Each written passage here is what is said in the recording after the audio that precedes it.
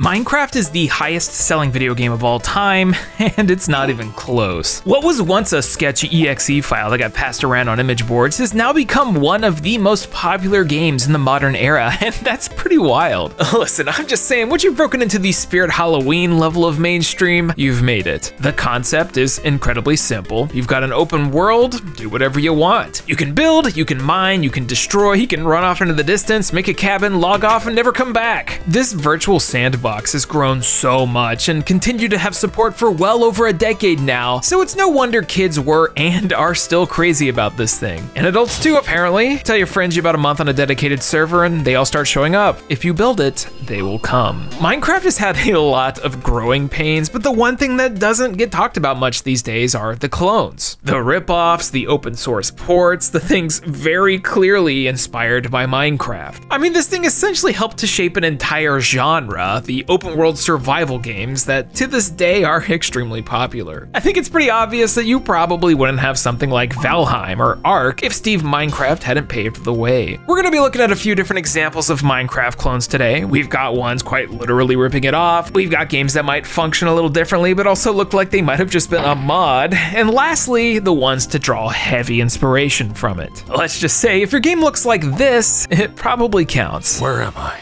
I am so hungry. So thirsty.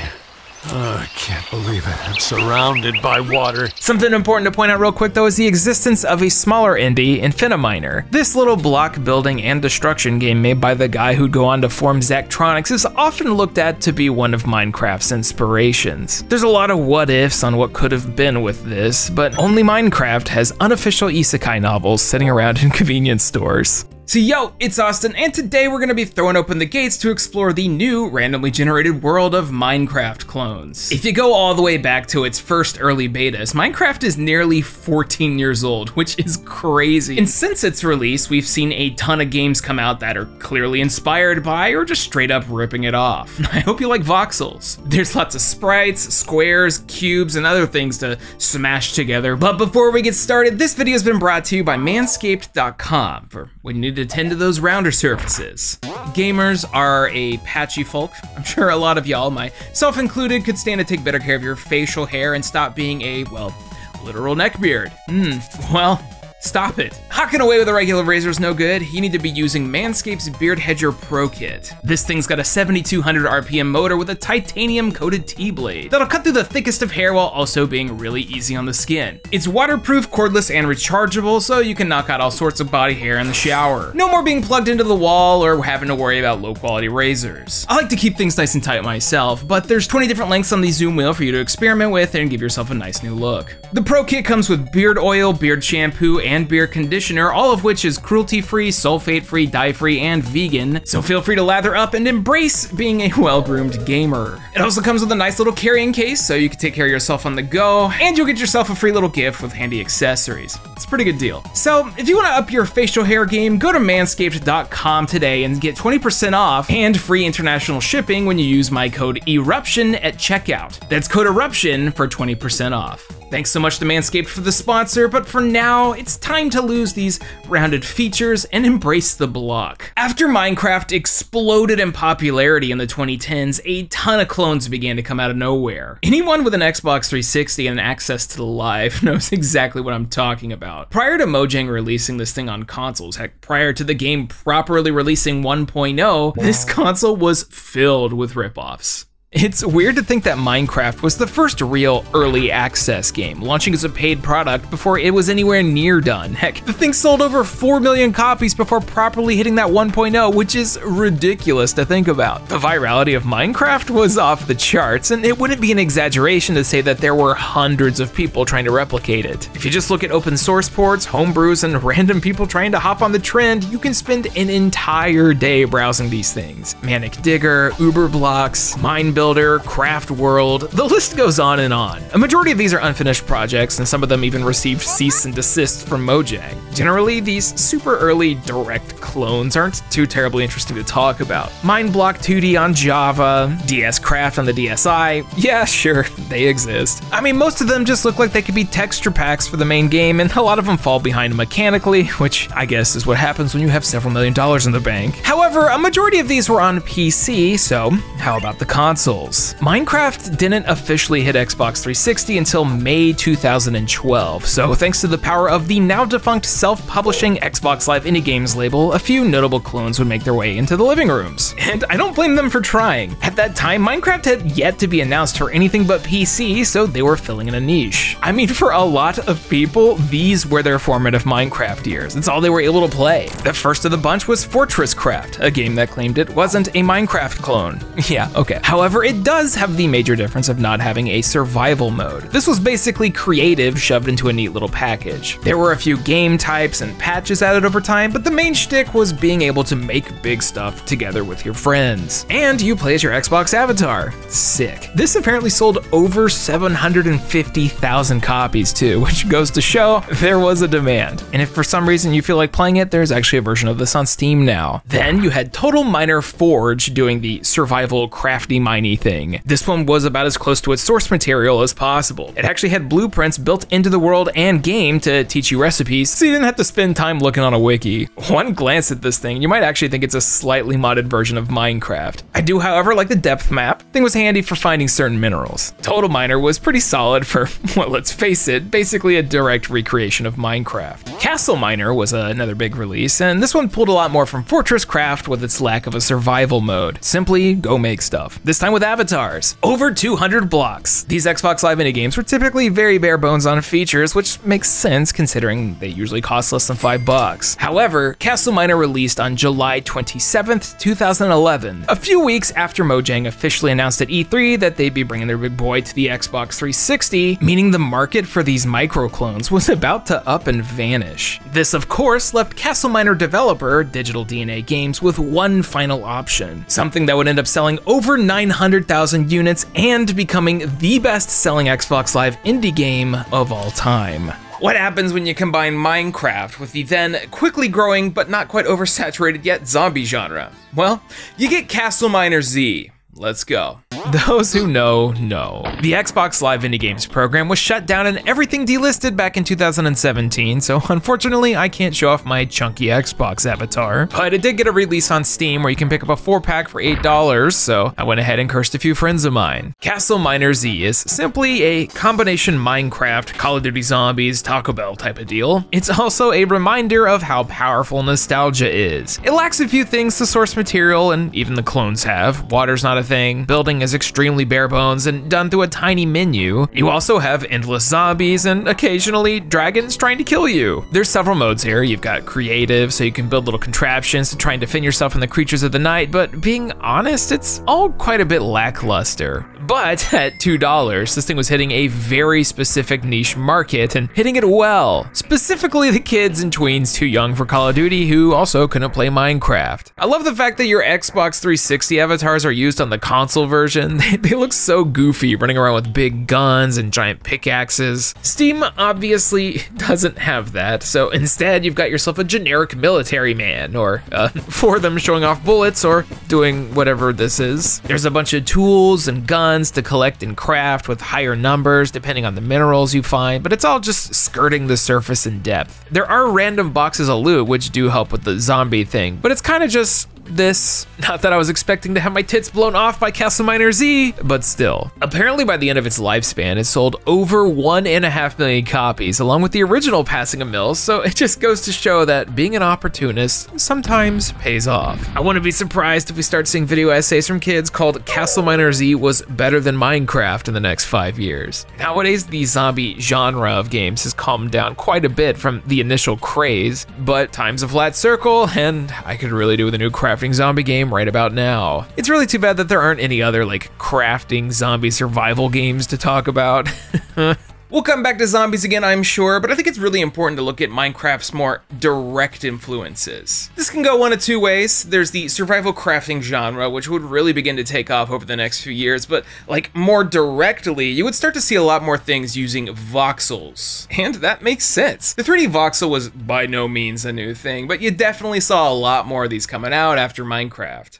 The first video game to use this visual style was a little DOS thing called Comanche Maximum Overkill. Voxel Voxels distilled down to their most basic concept are 3D pixel cubes on a grid that's viewable in a three-dimensional space. There's a lot that goes into this, but it's essentially a way of viewing 3D graphics. There's a lot of games out there using them that you'd probably never notice either. So yeah, it may not be the first, but it would be dishonest to say that Minecraft wasn't responsible for the massive uptick in video games throwing perfect cubes at me. And in the early 2010s, there were a lot. Like Ace of Spades. It combined the building sandbox and mining of Mojang's big hit, but with one kicker, Team Deathmatch. Oh, and guns. This was originally released as a small prototype alpha that made waves on various message boards and got a lot of notoriety. While the building aspects were extremely minimal, it was definitely cool to be digging and creating your own trenches and forts in a first person shooter setting. It reminded me a lot of Tribes 2's construction mode, but a little more grounded. The pace slower, the feeling of a battle taking shape over a good amount of time. It needed teamwork and strategy, something a lot of shooters in that era didn't have. The problem is that this unfinished beta was so well received that you know some bigger corporation was gonna try and do a little acquiring. And who better than Jagex, the developer of RuneScape? Yes, buying GF RuneScape. So what happened was, this little free thing with a half a million monthly players was left unfinished in favor of a brand new title costing $10 that said, what if we go full on twitchy shooter? And that was that. I think the original being free helped it a lot, but audiences sorely rejected this new Jagex version of Ace of Spades, and it pretty quickly found itself without a player base. On top of that, Jagex went ahead and released another game that was very similar, Block and Load. It's not even just the concept, even the logo is basically the same. The free-to-play Block and Load was received a bit better, even if it was just a shinier version of the bastardization of Ace of Spades. Though it seems, no matter how far we get from Minecraft, you're still not gonna be able to escape those blocky trees. There's a Block and Load 2 coming out too, but unfortunately, Ace of Spades was shut down in 2019 as that original audience just didn't gel with it. However, it seems like guns, crafting, and cubes are a match made in heaven, as we're seeing a lot of these, like Guncraft, a game with a huge player base. Guncraft is one of those countless blocky shooty things that would come out in the early 2010s, and it had some pretty decent ideas. You shoot stuff, you build stuff, and try to survive blocky modern warfare. The character models look like Chad versions of Minecraft Steve. Really, this whole thing looks like something I'd conjure up while disassociating. It had a small cult player base for a bit, and you'd think they'd stop selling this thing considering you can't properly play it anymore so servers are offline, but no, you can still buy it. Same with Murder Miners, the number one rated Xbox Live indie game. According to who, I'm not sure, but the developer sure just wanted to mash Halo and Minecraft together. Some of the quotes in the official trailer are hilarious, like Murder Miners is the savior of the FPS genre. Big words for a game with a $5 four pack. This one actually isn't terrible. Like, you'd never play this over hundreds of other FPSs, but it feels competent enough to have fun with friends for a few rounds. The best part is building a map in multiplayer and then immediately playing some deathmatch on it, even if the map totally sucks and you keep spawning off the edge. That's my fault though. I'm still not really sure why this whole shooter Minecraft combination of things was so popular in quotations for a while, and I don't think the voxel gun love story is gonna end anytime soon. Though nowadays it seems like we're leaning more into the Counter-Strike Roblox fusion babies with Krunker. How about Cube World Survival, a hit Steam release that literally won't come up with anything for me on YouTube? Look, if you search up the tag voxel on Steam, you're gonna find endless things like this. I'm not gonna sit here and say that every game with guns and voxels is a Minecraft clone, because it definitely isn't. However, you can't convince me that they weren't trying to do that for a very specific reason. Stepping away from those masterpieces, let's tone it down a bit. Now, big 3D blocks and voxels aren't going to be just restricted to blasting and crafting. We would also go underground, like really deep underground, with something like Eldritch. I remember Eldritch coming out and buying it day one because the concept alone was cool to me. It's a roguelike dungeon crawler with a Lovecraftian twist. It also looked extremely similar to that signature Minecraft style, and in 2013, that wasn't very common outside of the sandbox experiences. I mean, if I see a picture of you holding a pickaxe, looking at cubes that you can hit with the pickaxe, you're just telling on yourself. This thing was cool though. I'm not much of a horror guy, as some of y'all know, but for some reason I can handle the Lovecraft side of things. And to be fair, putting these crazy looking fishmen in a setting like this this really tones down the spookiness. You go level to level getting weapons, powers, and dungeon diving in order to find relics to find your way out of the nightmare world. It's not too terribly long, but for a little PC indie, it has a lot to like. Also, some of these block textures are so close, it's not even funny. At a certain point, Minecraft looking games really became a choose your own adventure type of thing. No matter the setting, you could find yourself doing some mining, crafting, and in some cases, fighting dragons. You could go medieval with Block Story, which still to this day has a small running community, or take it above the atmosphere into uncharted space with Xenominer. There's even the 3DS exclusive Cube Creator 3D, which actually came out several years before the official Mojang port. You'd be totally forgiven in mistaking this one for the official release. Unfortunately, a lot of these are no longer available due to the eShop and the 360 Xbox Live Indie Game Store getting shut down and delisted. You know, the 2020 problems. Speaking of totally mistaking a game for another, have you ever wondered what Minecraft would be like if it went like full in on the survival mechanics? Well, you'd get something called Vintage Story, a game that looks very similar to Minecraft. Which makes sense considering it has roots as a Minecraft mod called Vintage Craft. Vintage Story takes everything you know about that survival mode and pumps it up to 11. You enter this world and have to get to building your first shelter and hunting food, but this thing has a much harder start. In Minecraft, you'd punch a tree, make some sticks, and have yourself a mini fort in 5 minutes. Vintage Story has you literally grabbing loose stones to then start knapping off the edges to create tools. Firewood only lasts a short amount of time, the durability is a lot harsher, it's what I think a lot of people wanted the survival mode in Minecraft to be, but it never really became. You also have to battle the elements with gear to survive different seasons. The winters are harsh and cold, you can't go crops for several in-game days, and it brings a different gameplay loop to what you would expect from something like this. It leans a little closer into the modern sandbox survival games like Sons of the Forest, which I'm sure we'll talk about some of those later. But watching the voxel plants move rapidly with harsh winds was something that I didn't know I was interested in seeing. There's a lot of really small cool touches. I obviously didn't have time to get too far into a world myself for this video, but everything I've seen from other videos and heard about from friends seems incredibly engaging in a way that you don't see too often these days. For newbies, there is a guide built into the game, so you're not totally lost and forced to stare at wikis all day. But for those seeking a greater challenge than basic survival mode, Vintage Story really hits that itch. I just hope they don't add Far Cry 2 malaria mechanics.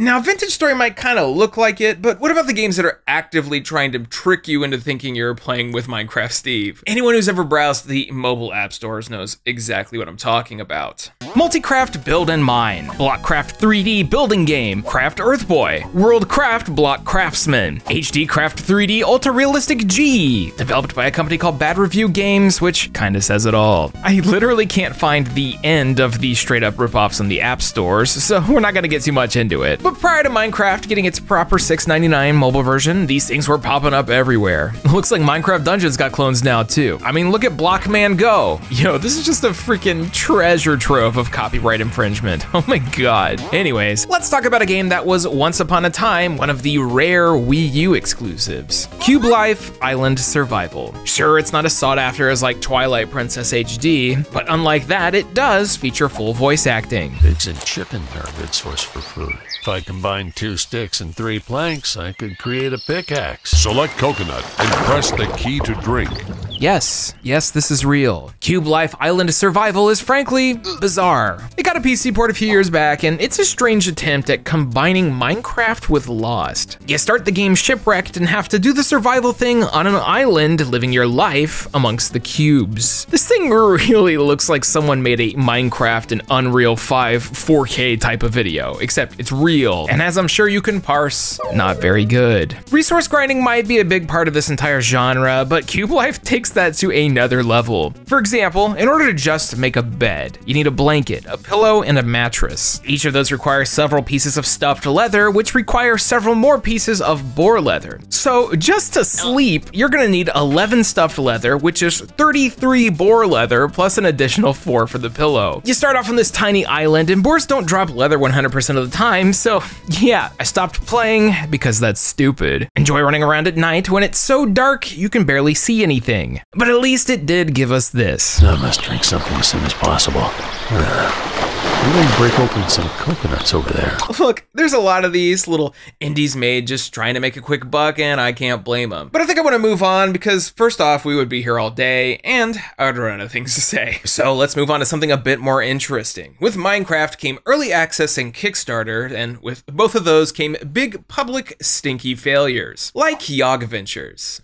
Now, that's a spicy one. Yog Ventures was a Kickstarter project helmed by popular YouTube channel Yogscast that had the misfortune of being one of the poster children for failed projects. Next to Project Phoenix, of course. I'm still waiting. Yog Ventures wanted to expand on the crafting and mining experience that Minecraft had and take things to another level of visual fidelity and, well, offer adventures, whatever that means. There's a huge story here, and others have compiled it way better than I could in a video like this, but essentially, they brought on a small developer called Winterkewl Games who ran out of the Kickstarter money. The project kind of fizzled out over time, the developer shut down, and that'd be that. Yogscast did offer keys to another Kickstarter project named Tug, which is now also no longer available, so it just all seems like a huge mess that everyone's trying to distance themselves from. Which, I mean, yeah, that's totally fair. This probably didn't help. Next up, Cube World. No, not Cube World Survival, simply Cube World. Less of a direct Minecraft clone and more of a combination of its style with something like The Legend of Zelda or MMOs like World of Warcraft. Cube World was an extremely ambitious title that upon its initial alpha reveal made a bunch of waves over the internet, but kind of faded out over time before its eventual release, where it was then noticeably different and ultimately not what the players wanted. When Cube World's alpha hit the net in 2013, it kind of felt like this would be the next big thing. Like you were playing an action RPG that was thrown into someone's Minecraft world. You had different classes, lots of gear, pets, tons of abilities. It was a game for people who love adventure, especially since you could play it with friends. Those initial few months created a lot of buzz, but after a DDoS attack targeted the developer's website, purchases were turned off, updates slowed down majorly, and then eventually, radio silence. The thing eventually came out in 2019, much different from its original preview, and for a lot of people, significantly worse. The final product is really strange. There's not much to guide you on what to do, and for something that wants you to fight enemies to get gear to become stronger, you're sure gonna get two shot left and right out of the gate. Cube World lacks direction, and this whole story, like Yog Ventures, is more of a tragedy than a comedy. There is a modding scene trying to make things more playable, but Cube World's always gonna be something of a what if.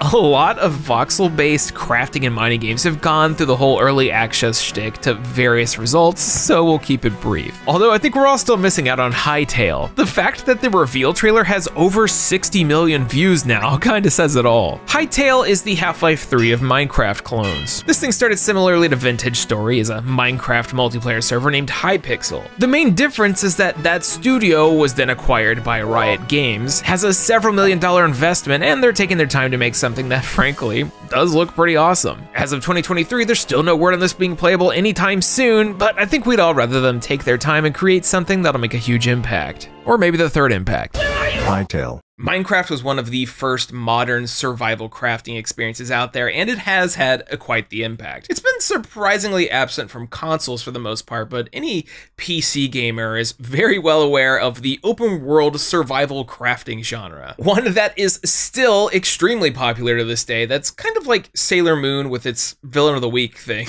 They're also the video game equivalent of crack like Sons of the Forest. There's nothing about this that inherently screams Minecraft clone, but so many mechanics of resource gathering, building, and survival are rooted in the cubes. There's obviously nothing with the same popularity as Mojang's Behemoth at all, but there's definitely a lot of what I'm calling Minecraft alternatives. When the gaming industry realized that humans haven't evolved much from babies, and we still, in fact, love playing in the sandboxes, the gates opened up. We yearned for the mines. Bigger developers and publishers wanted in on those sweet bucks, and nothing was gonna stop them. The first I remember was a little game called Trove by Trion Worlds, the people behind Rift and Defiance, rest in peace. I played the free-to-play Trove around its launch and thought it was neat, but fell off immediately. I mean, it's a free-to-play MMO. It has Minecraft building and crafting mechanics, but really turned for the worse over time. They leaned into the generic MMORPG thing pretty hard, and it's nearly unrecognizable from launch. Now you're running around fighting monsters, doing random dungeons, participating in its battle royale mode, and spending a very minimal amount of time assembling cubes. It's a shame. A much better example of a Minecraft alternative would be something like Creativerse, developed by Playful Corp, the people who brought us Super Lucky's Tale. Creativerse is, as you see on the screen, exactly what it looks like. It had a bit of a controversy as it used to be free to play, but recently swapped to a full pay to play model, removing it from people who had it already. And if you didn't pay, they were also going to remove worlds that were already built, and so hey, that's not great. I do think that it's a very solid Minecraft clone though. You swap between the first and third person using your weapons, and a lot of things have a sense of familiarity while being slightly different as well. I like how much faster you can mine. It's got a nice vibe to it, but if we're being real, I think it might be dead. This thing originally launched in early access in 2014 and then became pay to play in 2022, which is not only a bizarre decision, but is almost a decade old. There's a few hundred daily players, but it's a far cry from its peak. It's all about those Robux now.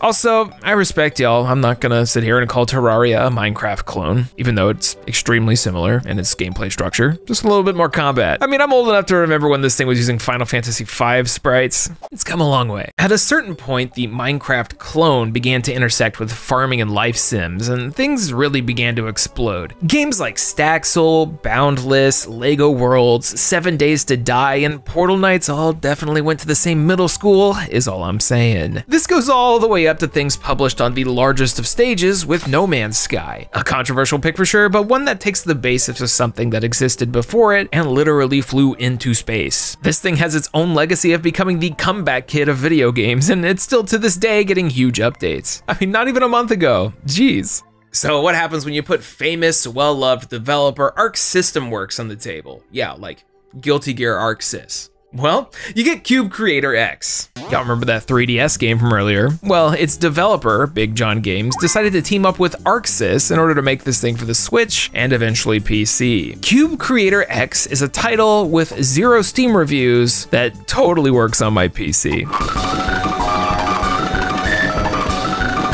That sounds lovely. But it doesn't seem to have much better luck on the Switch, according to the official trailer, showing the frame rate getting absolutely demolished. Creator X is fine. It follows the genre tropes with little zones you can go through while collecting and crafting stuff, but also has a hub world with quests you can accept. You play as a little block dude that you can customize, the interface works well and is familiar. It was designed to be a budget title, so it's not really pushing any boundaries, like at all. In fact, the only difference from Minecraft is that it uses more rounded shapes and is less of a sandbox and more of an objective based experience. Not bad, not great, but a decent Minecraft alternative for the kids who are painfully addicted to the concept. Jiggly jiggly, I'm coming for the booty. It does have multiplayer, but I doubt I'll be able to get anyone to play this with me. Especially if you take a look at the user created content section, which as of today has literally nothing in it, despite coming out several years ago with an all time peak of three players. That is really sad and unfortunate, but it's also just the fate for a lot of these Minecraft clones, ripoffs, and alternatives. One game is just so domineering over the entire genre that it's just kind of hard to squeeze in there. But there was one big publisher who gave it a shot. Now, when you think of like AAA trend hoppers, you typically think of companies like Ubisoft, EA, but no, this time it was Square Enix. And not just one, but two different games. Look, I'm just trying to say I don't think anyone expected Dragon Quest Builders. As it turns out, this was a fantastic idea. The original came out on PlayStation 3, 4, Vita, and Switch, while the sequel's available everywhere, and these two titles have a lot of heart. The concept is simple, the world needs a fixin'. You're a legendary builder, help rebuild the world. The original takes place in an alternate ending to the original Dragon Quest, and the sequel follows the second game. Both of these are pretty solid, but I mostly play the sequel for this video. Why? Game Pass, baby. Builders takes the concepts of Minecraft and rolls with them in a way that is really easy to understand. Recipes are done more similarly to the modern version of crafting in these games, and gathering is usually pretty quick. I mean, you'll smack things one or two times with a stick and have new stuff in your inventory. You place blocks, build arrangements, make houses and towns, and do your best to restore the world to its former glory. But you don't just have building and crafting, we've also got leveling up and fighting. Builders kind of leans a little more into something like Dark Cloud or Act At times, where you'll be responsible for pre-configs for story, as well as having the freedom to do whatever you want. But there's also waves of enemies to fight, and you'll have to beef up your village to defend themselves. Yes, you can arm your villagers, which also means boss encounters can totally destroy everything you've built. Yay. The one major differing factor is that both builders do follow a central narrative with levels. The first game literally yeets you out of an area when you've finished it, but 2 allows you to go back and see how things develop over time. It follows more of a traditional RPG structure while having all of those blocky crafting elements as the main mechanic, and I think it pulls it off spectacularly. Everything but the multiplayer anyways. Unfortunately, since this thing is story driven, whenever you join up with your friends, which takes like 7 hours by the way, all progress is tied to the host. So, you know, it's one of those. Granted, you can have a good time running around with buds, smashing, crafting, and building, but in order for them to take it to the next level in the future, I'd want to see a fully co-op campaign. That being said,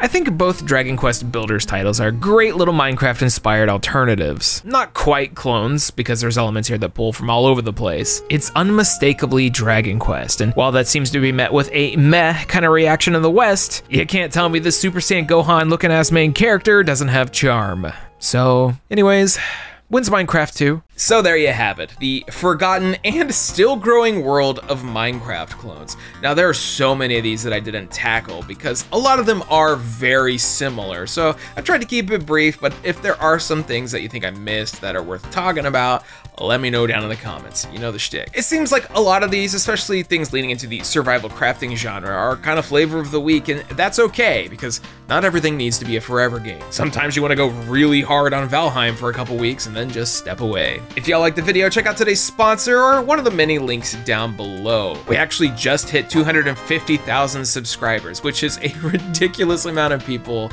and I am eternally grateful, like actually. Support with like Patreon, YouTube memberships, or buying t-shirts goes a long way, but also just being here and watching me is uh, more than anyone could ask for.